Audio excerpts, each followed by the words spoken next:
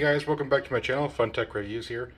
Today we're going to do something pretty crazy. We're going to use the Roomba J7 and we're going to test its poop avoidance. I have some real dog poop I'm going to lay down, so trigger warning if you're grossed out easily. I don't want you to get sick. I'm also going to put down some other obstacles as well, just to see how well it does. So let's get started. I had two scientists willing to provide us a test sample for today's video. Alright guys, so I got the living room set up here. I put down a dog toy uh, because sometimes these dog toys get sucked up by the S9 and they like to run around everywhere. So hopefully the J7 can avoid dog toys. Put a charging cord over there. I'm to expand it out just a little bit more so it kind of covers this whole area. Put a table chair there just to see how well it navigates around that. And of course, dog poop. So uh, just, just to show you, I'm just going to show you that this is real dog poop. This isn't fake. Look at that chunker. So, all right, yeah, let's get this thing started. All right, I'm not gonna lie, I am kind of nervous for this. I hope it doesn't ruin my $600 robot or $800 robot. All right, so it's coming in for the dog toy now. Let's see if it avoids it or just kind of pushes it out of the way. It looks like it just kind of pushed them out of the way. And I think with time, as these are brought out more, um, and they start updating the database, he'll probably start noticing things like dog toys and uh, things like that. Um, I think the main issue though is poop for sure because a lot of people have dogs or cats or any other type of animal and you know they have accidents in the house sometimes and I've been there where I've had uh, robot vacuum suck over my dog's poop and it wasn't a fun time to clean up, let's just say that. So it struggles a little bit with the chair legs so far. I'm not sure if it's because of the color black or if it's just not trained yet to do that. But it does slow down before it hits them, which is pretty cool. I remember when the S9 just first came out, it was so aggressive. I'm glad to see that this one is not as aggressive as the S9 when it first came out, because that was crazy. It does pretty good navigating around the chair legs, though, I'm not going to lie. Um, I feel like it does alright. I'm not sure how much the camera is helping this, but it's hard to tell. Um, I'm wondering if in the app it'll show me like any of the obstacles it's seen on the floor. Um, I wonder if it'll show the chair leg. I know it'll show the cord for sure, but I'm not sure about the dog toy or the um, chair leg. I know it'll definitely show the poop, but that's kind of what we're waiting to get through here is seeing how well the poop does. See if I have to spend the afternoon cleaning up my poop or if it's going to be an easy, easy video today. But yeah, let me know what you guys want to see down in the comments down below. I do my best to um, respond to all comments and you know, this is a newer robot, so if there's something specific you want to see, I don't have a problem putting it through the tests and just helping you guys out, make a decision if you're going to purchase this robot or not. All right, so as you can see, it's avoiding the cord pretty good, so that's a good thing. Um, as you can see, that cord that I have down here, right on this side here, it's been eaten up a little bit from my S9 just because it's been stuck on the floor. And so having this unit that'll avoid cords is pretty cool, to be honest. All right, so I might be coming full speed ahead for the poop here pretty quick. Uh, must have found some dirt or something in that corner, so it's doing a dirt detect. But I'm really anxious to see how well this thing does. If I have to dive in front of that thing to prevent it from sucking up poop, I will do that just because cleaning up poop from a robot vacuum is not fun at all. Lots of Q-tips, lots of uh, alcohol swabs, not a lot, but enough to get the unit cleaned. So didn't see it yet. It slowed down a little. Oh, there it saw it. Full speed ahead. Oh, it saw it again. That's freaking awesome. That is way too cool how how this thing can sense that poop. I know I was watching a video from the CEO, Colin Angle, and he said that they spent hours and hours and hours doing different sizes and shapes of number two because there's so many different variations. They said they have over 100,000 images put in, which is absolutely crazy. I don't know. I'm really excited for this robot. I think this this is a great robot.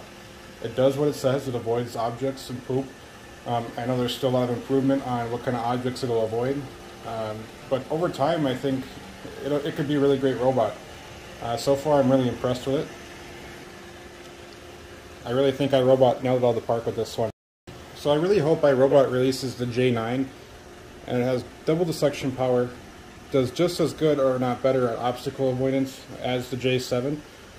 But I really hope they do include a bigger battery, just because, you know, the J7, I for my house, it works really good. It doesn't use a full battery unless I put it on a couple cleans, but I know there's a lot of you out there that have pretty large houses, so it'd be nice to have a longer cleaning period. Um, if you follow Adam's Tech Reviews on YouTube here, he's actually going to be testing a newer battery that he found on Amazon that's supposed to last a lot longer than the original. So he's going to test that out and see if it, the robot puts out any errors or anything like that. And if it doesn't, I may actually buy that battery as well and see um, if it'll work for my house as well. Because sometimes I like to run my Roombas on two passes, just kind of do like a deep clean. So it'd be kind of nice to have it be able to get that done uh, in one shot instead of multiple different runs. Really interested to hear you guys' opinions. I want to see what you guys like or don't like about this unit if you have it.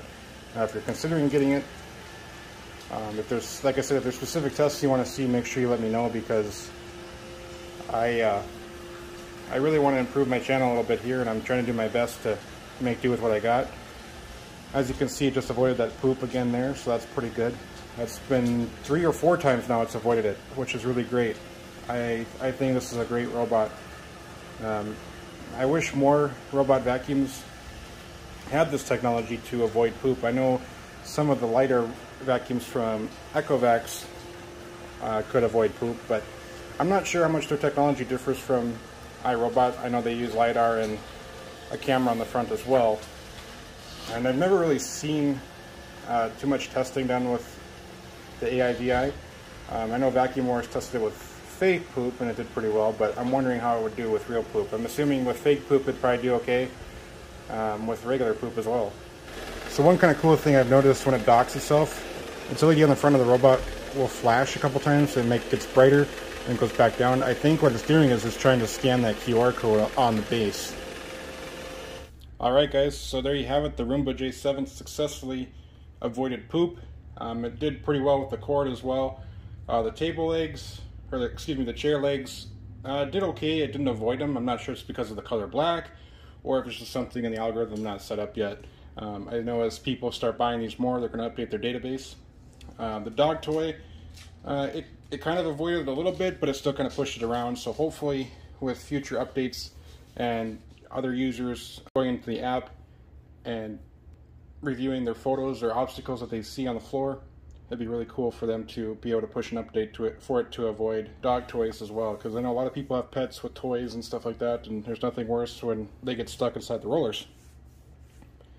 All right, so now what we're going to do is we're going to take a look at the app, and I'm going to show you uh, the avoidance areas on the app. All right, guys, so I'm in the iRobot Home app here. As you can see, it's Roomba J7. It's charging, it's at the dock. So if I go into our cleaning history from today when we did the pooping run, we click on here on the app, and as you can see, all these little boxes are obstacles. So if we go into here, under the map and kind of how much it cleaned, we'll go under the cleaning area. You can see it found two areas. I'm not sure why it's not showing us the poop obstacle. I'm not sure if that's just a little bug, but anyways, we can hit begin review. And as you can see, it saw part of the kennel, which it thought it might have been a cord.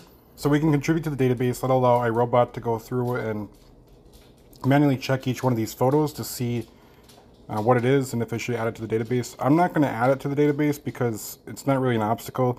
It's, it's a kennel that's always there. So we're just going to hit no obstacle here. Now as you can see, I took a picture of the black cord, charging cord that I had. So I'm going to contribute to database because this is a cord. And I'm going to put temporary obstacle because obviously that cord is not going to sit there all the time and we'll hit submit review. We'll give it a minute to submit. All right, now it says Roomba J7 is getting smarter thanks to your review. Your feedback helps improve Roomba J7. Learn how to handle different areas in your home. To clean up a Roomba J7 avoided, start a tidy up job. So that's pretty cool. So let's say all these obstacles are now moved. You can hit start tidy up and actually go vacuum those areas that it avoided earlier, which is pretty freaking cool. I think it's really great that you can do this. If your kids have homework or toys or anything else on the floor or a pet brings out their toys, that'd be really great for this thing to go back and clean it up afterwards. So I'm going to actually demonstrate that for you guys. Alright, so as you can see the Roomba J7 just started at the dock here after I hit tidy up. So let's see if it'll go over that poop area as well. I obviously picked it up by now, so it's not going to suck it up or anything like that.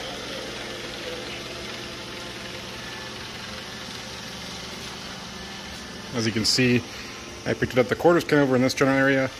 Poop was over here, and then the uh, chair was over there. And then it was seeing the end of this here, this little kennel thing.